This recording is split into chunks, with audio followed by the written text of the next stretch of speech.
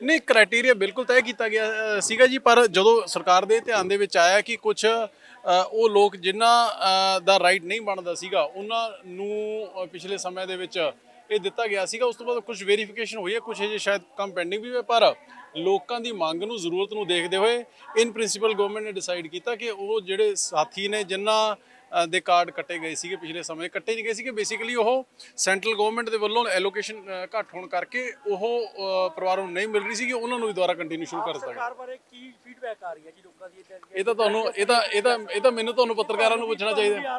ਦੇਖੋ ਮੈਂ ਤਾਂ ਇੱਕੋ ਗੱਲ ਜਾਣਦਾ।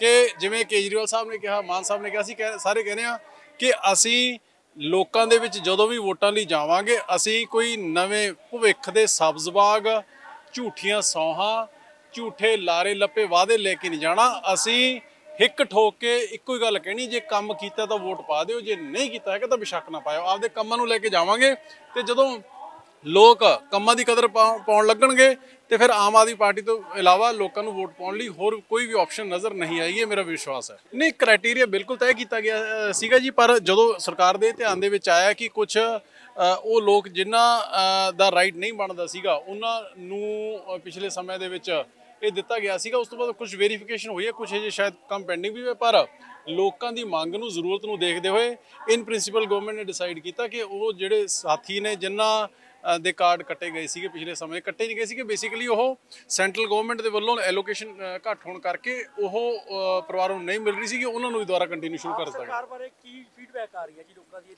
ਇਹ ਤਾਂ ਤੁਹਾਨੂੰ ਇਹ ਤਾਂ ਇਹ ਤਾਂ ਇਹ ਤਾਂ ਮੈਨੂੰ ਤੁਹਾਨੂੰ ਪੱਤਰਕਾਰਾਂ ਨੂੰ ਪੁੱਛਣਾ ਚਾਹੀਦਾ।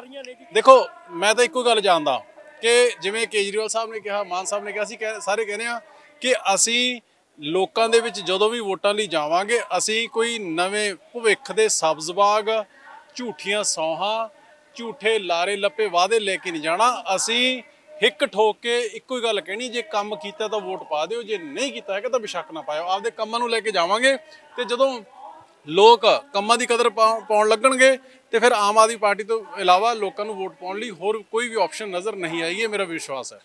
ਥੈਂਕ ਯੂ ਸੋ ਮਚ ਜੀ। ਨਹੀਂ ਕ੍ਰਾਈਟੇਰੀਆ ਬਿਲਕੁਲ ਤੈਅ ਕੀਤਾ ਗਿਆ ਸੀਗਾ ਜੀ, ਪਰ ਜਦੋਂ ਸਰਕਾਰ ਦੇ ਧਿਆਨ ਦੇ ਵਿੱਚ ਆਇਆ ਕਿ ਕੁਝ ਉਹ ਲੋਕ ਜਿਨ੍ਹਾਂ ਦਾ ਰਾਈਟ ਨਹੀਂ ਬਣਦਾ ਸੀਗਾ, ਉਹਨਾਂ ਨੂੰ ਪਿਛਲੇ ਸਮੇਂ ਦੇ ਵਿੱਚ ਇਹ ਦਿੱਤਾ ਗਿਆ ਸੀਗਾ। ਉਸ ਤੋਂ ਬਾਅਦ ਕੁਝ ਵੈਰੀਫਿਕੇਸ਼ਨ ਹੋਈ ਹੈ ਕੁਝ ਅਜੇ ਸ਼ਾਇਦ ਕੰਮ ਪੈਂਡਿੰਗ ਵੀ ਹੈ ਪਰ ਲੋਕਾਂ ਦੀ ਮੰਗ ਨੂੰ, ਜ਼ਰੂਰਤ ਨੂੰ ਦੇਖਦੇ ਹੋਏ ਇਨ ਪ੍ਰਿੰਸੀਪਲ ਗਵਰਨਮੈਂਟ ਨੇ ਡਿਸਾਈਡ ਕੀਤਾ ਕਿ ਉਹ ਜਿਹੜੇ ਸਾਥੀ ਨੇ, ਜਿਨ੍ਹਾਂ ਦੇ ਕਾਰਡ ਕੱਟੇ ਗਏ ਸੀਗੇ ਪਿਛਲੇ ਸਮੇਂ। ਕੱਟੇ ਨਹੀਂ ਗਏ ਸੀਗੇ। ਬੇਸਿਕਲੀ ਉਹ ਸੈਂਟਰਲ ਗਵਰਨਮੈਂਟ ਦੇ ਵੱਲੋਂ ਐਲੋਕੇਸ਼ਨ ਘੱਟ ਹੋਣ ਕਰਕੇ ਉਹ ਪਰਿਵਾਰਾਂ ਨੂੰ ਨਹੀਂ ਮਿਲ ਰਹੀ ਸੀਗੀ। ਉਹਨਾਂ ਨੂੰ ਵੀ ਦੁਬਾਰਾ ਕੰਟੀਨਿਊ ਸ਼ੁਰੂ ਕਰ ਦਿੱਤਾ ਗਿਆ। ਸਰਕਾਰ ਬਾਰੇ ਕੀ ਫੀਡਬੈਕ ਆ ਰਹੀ ਹੈ ਜੀ ਲੋਕਾਂ ਦੀ ਇਹ ਤਾਂ ਤੁਹਾਨੂੰ ਇਹ ਤਾਂ ਇਹ ਤਾਂ ਇਹ ਤਾਂ ਮੈਨੂੰ ਤੁਹਾਨੂੰ ਪੱਤਰਕਾਰਾਂ ਨੂੰ ਪੁੱਛਣਾ ਚਾਹੀਦਾ।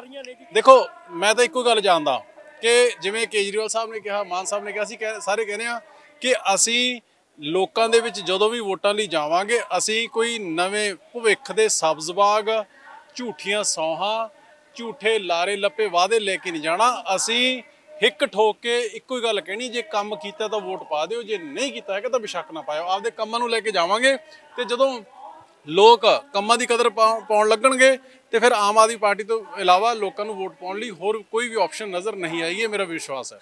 ਥੈਂਕ ਯੂ ਸੋ ਮਚ ਜੀ।